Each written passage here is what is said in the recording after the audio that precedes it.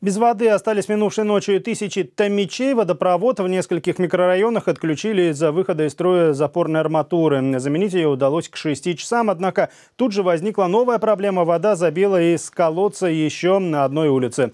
Из строя вышел пожарный гидрант, и в 7 часов утра воду отключили вновь еще на 4 часа. Управляющие компании поясняют, они не получали уведомления от водоканала, поэтому из-за повышенного давления на линии произошел гидроудар. Сейчас все работы завершены.